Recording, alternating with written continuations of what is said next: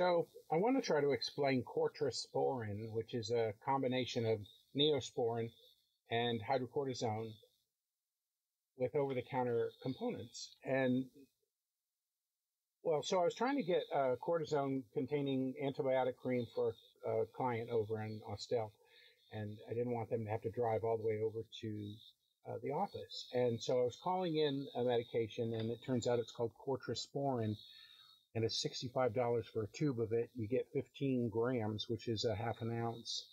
And um, so the pharmacist happened to be related to me, and so I asked him. I said, "Just you know, I, have been recommending to customers to mix uh, Neosporin with uh, cortisone 10, which is a one percent hydrocortisone cream, and um, mix those two together and use that, not in the eyeball, but on most other areas with rash and uh, infection, to uh, seal it, soothe it, soften scabs, etc. And he said, "Yeah, that's uh, pretty much what's in Corticosporin for sixty-five dollars."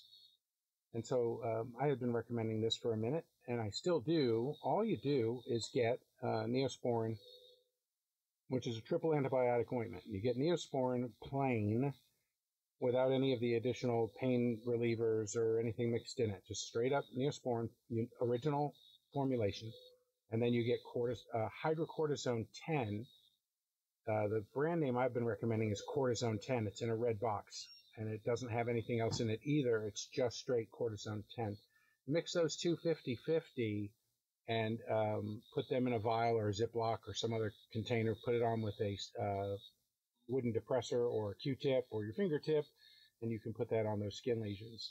If those uh, are allowed to accumulate too much over time, you're going to have a big greasy mess you're going to want to clean off in between. And cleaning off in between is good with Cetaphil wipes, soap and water, little uh, corner of a washcloth, etc.